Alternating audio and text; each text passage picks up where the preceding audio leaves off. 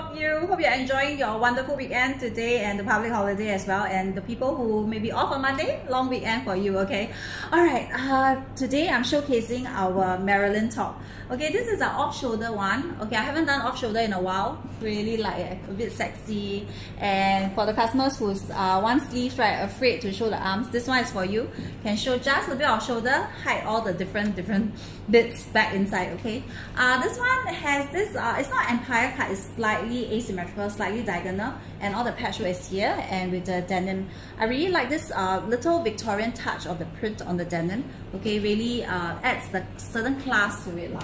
Okay, it's a very, very unique top, okay? Showing close up, and the zipper is at the side here, okay? A, a zipper here, and the back is like that, okay? So this one again, um, the colors will all be different, so you need to DM PM us to see the selections. And yes, very comfortable, full on cotton, and so flattering. Alright, see ya!